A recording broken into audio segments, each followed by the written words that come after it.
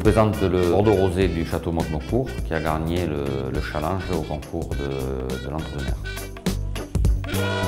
Bordeaux est renommé, est renommé pour, ses, pour ses rouges, hein. un peu moins connu et de plus en plus pour ses blancs. Au jour d'aujourd'hui, on est en train de promouvoir le rosé.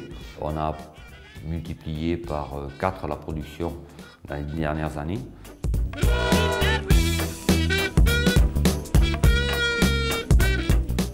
C'est un rosé euh, issu de, de pressé et de saignée.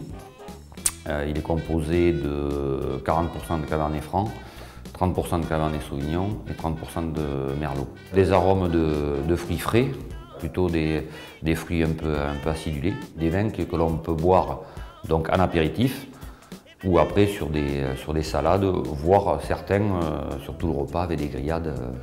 C'est des, vins qui accompagnent tout le repas l'été.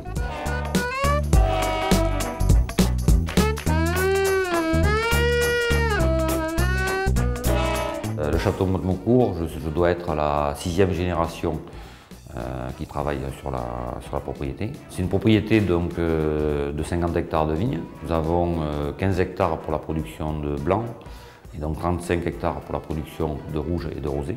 Donc là, on a une, parcelle de, de, Cabernet Franc donc, qui est dédiée spécifiquement à la, production de, des rosés. C'est une parcelle qui a une, quarantaine d'années à peu près. La priorité au niveau des rosés euh, au jour d'aujourd'hui, c'est la couleur.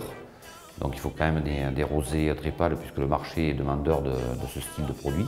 Les cabernets francs et les cabernets sauvignons donc, sont ramassés assez tôt dans la saison de façon à garder une certaine fraîcheur et euh, de façon à avoir des vins avec une certaine acidité.